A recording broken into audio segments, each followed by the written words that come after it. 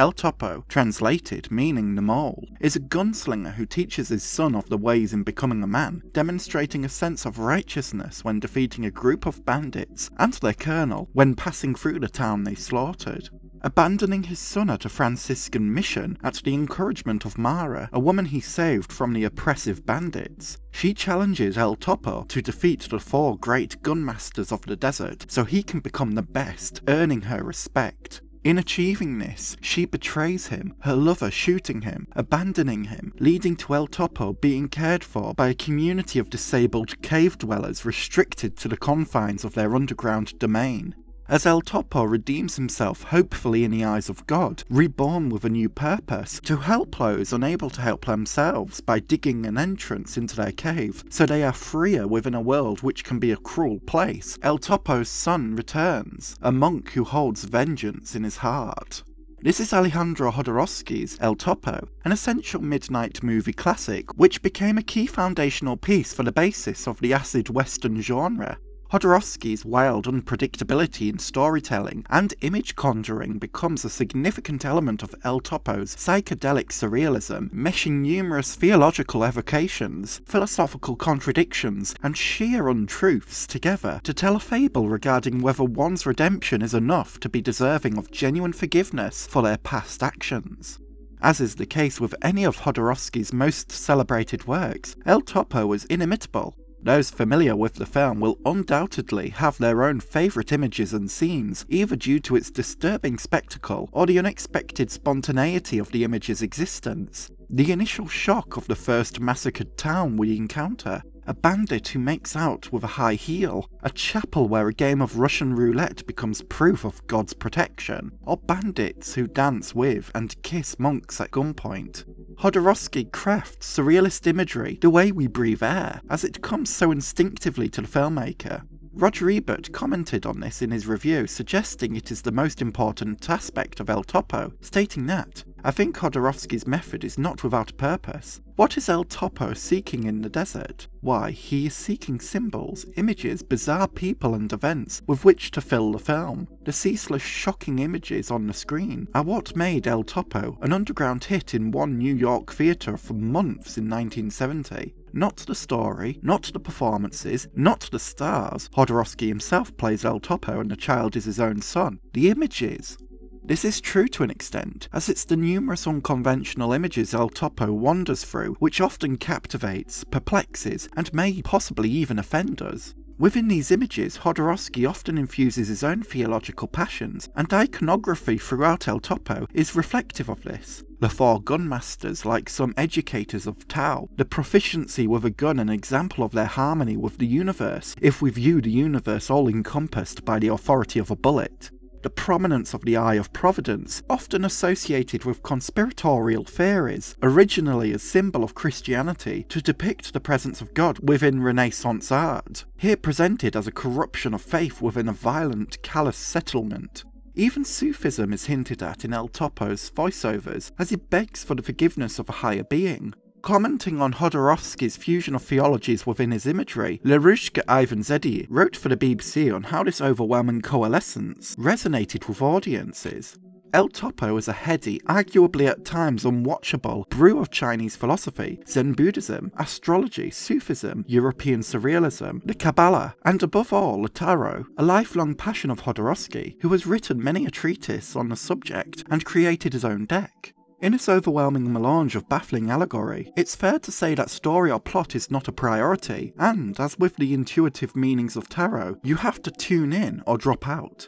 That it became a cult hit in 1971 New York was a question of right time, right place. It's not hard to see its appeal to Lennon and other leading lights of the contemporary counterculture who were looking to the East for new mind expanding philosophies.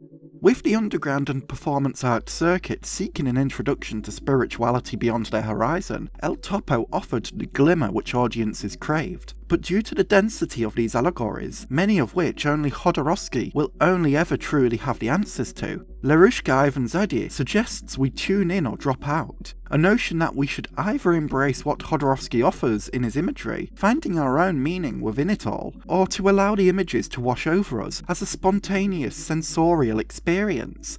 However, this notion may be disappointing for those seeking a literal answer to what El Topo provides. Within a more literal perception, El Topo offers a thematic examination on the nature and limitations of human redemption and forgiveness. It can be interpreted as a betrayal that El Topo abandons his son at a mission to become a monk, as he suggests so himself by saying, Destroy me, trust no one.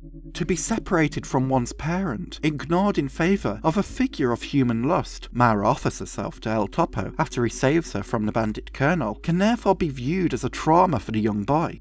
For Jodorowsky, within his own personal upbringing and his own therapeutic beliefs, trauma is a catalyst towards healing. Jodorowsky has spent decades developing his own unique brand of therapy called psychomagic. Its core belief is that the performance of key traumatic moments can heal one's psychological wounds. If we consider the influence of psychomagic over the story of El Topo, then the trauma of El Topo's son, Hijo, is interconnected to his healing and eventual reconnection with his father. Intrinsically linked within the theme of redemption is the interconnectivity of all things. Peter Bradshaw, in his review of El Topo, outlines this concisely, stating that what does it all mean? In so much as it means anything, it is about that circular, spiraling journey that El Topo said he would have to take through the desert to find all four of the gunmen he would need to conquer. In his end is his beginning, and his son's beginning. Like the spiral direction to find each of the four gunmasters, or how in El Topo's death, Hijo seems to carry on that old life of his father. El Topo's existence and his son's vengeance are linked, as if the two were always destined to meet again. El Topo's demeanour as a changed man after his betrayal, being left for dead only to recover and find God, is met with skepticism from his son, who now, beyond his role of monkhood, has taken on the role of the righteously flawed, souled gunman dressed in black, just like his father once was both figures of impaired morality and righteousness, capable of their own mistakes. While it is solely for Hijo to decide whether he can forgive his father or not, Jodorowsky's film suggests this dynamic highlights the disconnect between morality, unable to consider self improvement, and how the figure of change, a force for the better than his old days, is still unable to undo the damage of his past actions. Therefore, this fascinating personal conflict at play between El Topo and Hijo unfolds where El Topo must prove he would undo his past actions if he could, and where Hijo must prove he is finally healed after experiencing the trauma of abandonment, as if reinforcing Jodorowsky's own theory of psychomagic. It's difficult to discuss El Topo without confronting Alejandro Jodorowsky's own problematic statement regarding a scene of sexual assault between El Topo and his lover Mara, in which Jodorowsky claimed the action was real. In an unexpected way, this discussion also indirectly reinforces El Topo's focus on the extent one's past actions can or can't be forgiven. Artforum wrote about this controversy, in which they address the disturbing statement from Alejandro Jodorowsky, as well as his more recent apology and clarification. The act of sexual violence allegedly happened while filming a scene for the surreal western El Topo. In the 1972 book, El Topo, a book of the film, Jodorowsky said, I really her, and she screamed. Jodorowsky came forward to explain his decades old statement, which he claims were part of a publicity stunt. He said, These words, I've my actress, was said 50 years ago by El Topo, a bandit dressed in black leather that nobody knew. They were words, not facts, surrealist publicity in order to enter the world of cinema from a position of obscurity. I do not condone the act of but exploited the shock value of the statement at the time, following years in the panic movement and other iterations of harnessing shock to motivate energetic release. I acknowledge that this statement is problematic in that it presents fictional violence against a woman as a tool for exposure, and now, 50 years later, I regret that this is being read as truth. My practice is centered on healing and love. I invite further dialogue in the spirit of progress.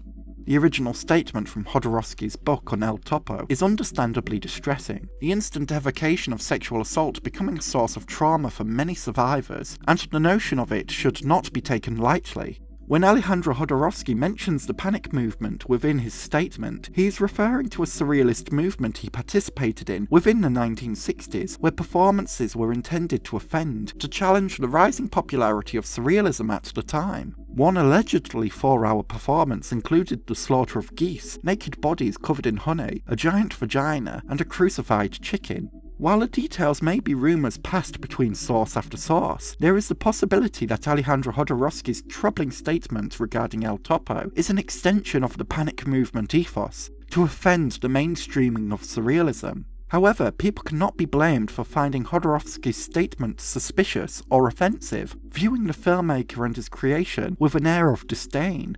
Jodorowsky, like El Topo, the character he plays, remains under the question of whether the commitment of a past action can ever be forgiven.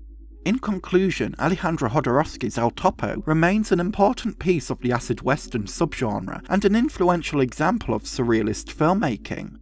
While many of its theological ideas can create an intentionally overwhelming experience, the film's curiosity for the unexpected often makes the sensorial journey a captivating, potentially exciting one.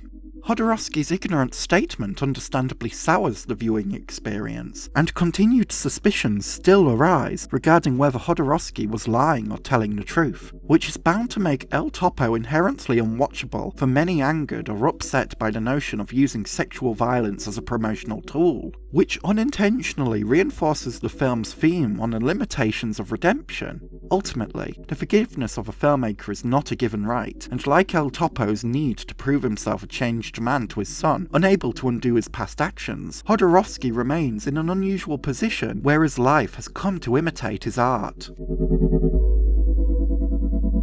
A special thank you to my incredible tier patron supporter Gil, and my super tier patron supporters Constantine Bombelli, Jamie and Milkway.